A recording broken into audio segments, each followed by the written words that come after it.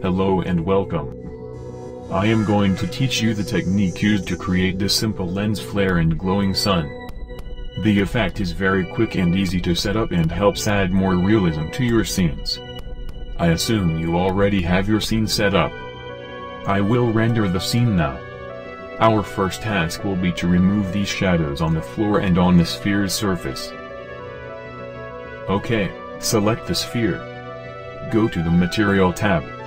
Name the material Sun Material. Change the diffuse color to the color you want your sun to be. Check Shadeless to eliminate shadows and reflections. Uncheck Traceable to prevent the sphere from generating external shadows. Now, render. Good start, we have no more shadows for the sun. Since we will be using compositing, let's isolate this material by giving it an index number. Number 1 in this case. Now, go to the Render Layers tab. Activate Material Index for this render layer. It's much easier to composite material effects when you separate them from the rest. Well, we're off to the node editor now. Go to the Compositing Nodes tab. Add a render layer node.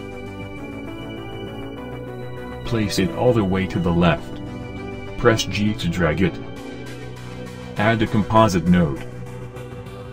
Place it all the way to the right. Connect the image output of the render layer to the input in the composite node. Check the Use Nodes checkbox. Render one more time just to make sure all the calculations were made properly. Back to the node editor. Add a viewer node. Check the backdrop checkbox. The viewer node allows us to see the output of the render layer directly in the backdrop. Add an ID mask node.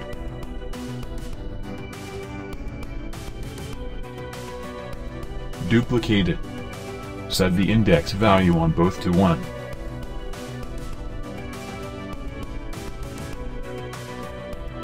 Connect the material index output to the ID values. The material is isolated. Add a blur node.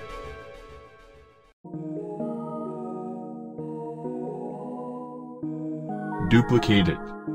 Set the X and Y values for the first blur node to 18. Set the size to 3. For the other one use 3 for X and Y values. Leave the size as it is. Connect one ID mask to each blur node. Activate Gamma for the first blur node. Add a color ramp node. This will control the color of the glow. Connect the second blur node to the color ramp node. Change the white and the color ramp to whatever you want.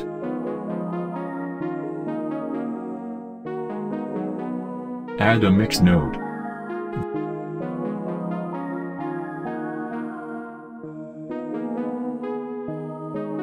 First blur node goes in the factor.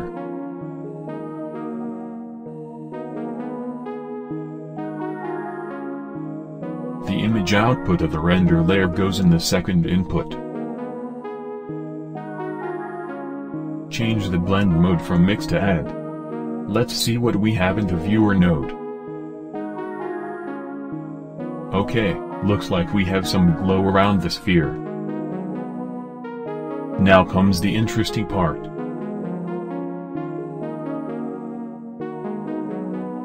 Add a glare node. Press B to box select. I will make some space.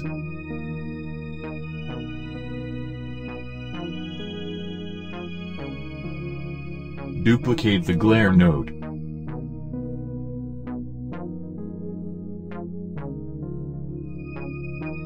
Change the first one to simple star. Change the second one to ghost. Now connect the add node to them.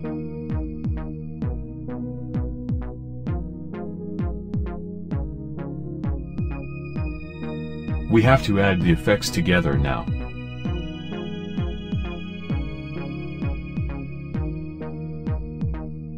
Leave the add factor as 1. Duplicate the add node.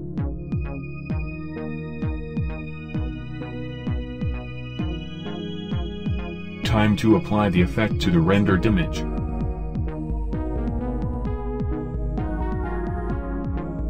Add them like this. Connect this output to the viewer node. As you can see, we have a simple sun with lens flare. Make sure you have the composite node connected and render.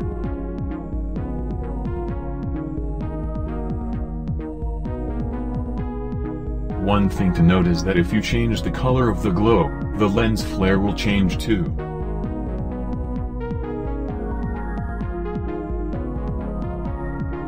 The color of the material is also being added to it. Now, you can change the color of the background and sun lamp to create some nice atmospheric sun effects. There are other ways to do this, but this one gets the job done. If this tutorial helped you in any way, like this video. I will be uploading tutorials every day, so subscribe. See you around.